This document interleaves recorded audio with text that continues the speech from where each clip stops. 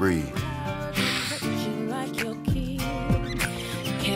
Sometimes the monster that's inside you is a monster that is mad.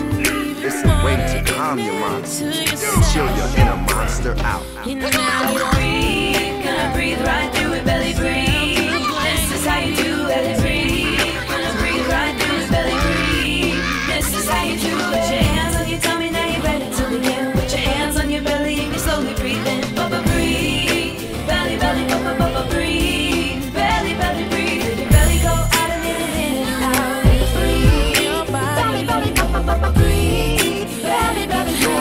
Monster may appear at any time in any place, and that mad monster will make you make a mad monster face. He makes you wanna push, he makes you wanna shove. There's a way to calm that monster, bring out the monster love.